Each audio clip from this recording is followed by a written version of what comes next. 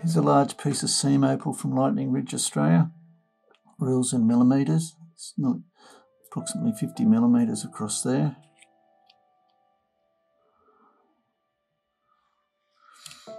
So it's quite a large piece.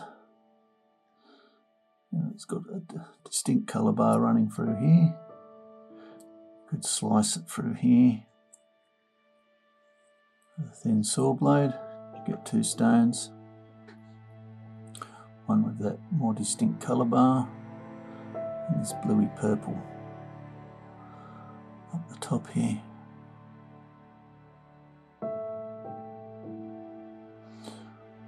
Or you could try carving some of it out with just a Dremel.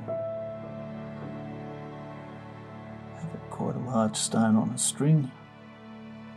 Make it into a pendant, something like that. Or you could just keep it as a specimen for your showcase. It's good, good stone to show colour bars and what have you in a piece of opal.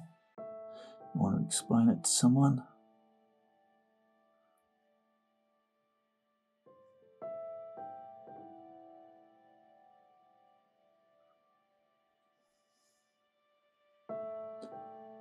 Anyway, I hope you've enjoyed looking. Cheers.